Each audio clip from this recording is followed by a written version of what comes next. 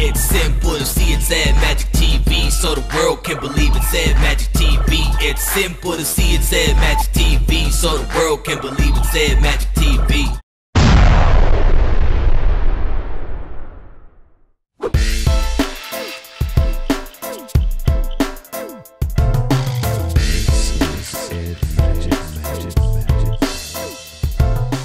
It's a party with Della Reese. We're here with Nina Taylor, and I always like Touched by an Angel Great.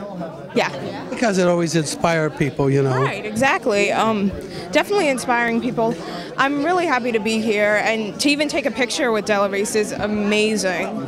So I can't wait to see the performances. I'm really looking forward to it. You know it's going to be cooking, moving, shucking, and driving. No, I'm so excited. I love to watch people perform because I'm always a performer usually.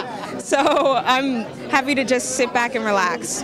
Tell us about what projects you got coming up. Well, um, I just released a demo CD, um, a self-titled, and I also have a performance this Friday in Hollywood, and two performances Ju- July 28th and 29th at the Ramona Bowl coming up. And you can get tickets at Ticketmaster. Who was your biggest inspiration?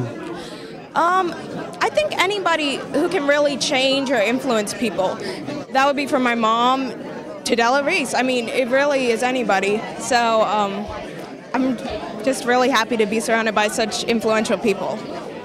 Well, as we leave, I know that people are going to approach you, um, even though, you know, when you're a singer, when you're a model, you can always go into a segue into acting and television and that. I bet you've been approached in that arena to, to transcend to that. Right. Um, I actually I'm starring in a movie called Sister Switch, and it's being released pretty soon, probably this year. And um, that's about it. I I just started acting, and I've been doing lessons and kind of getting into that world, and it's been really fun.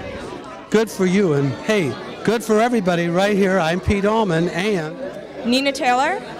Bye bye. Bye.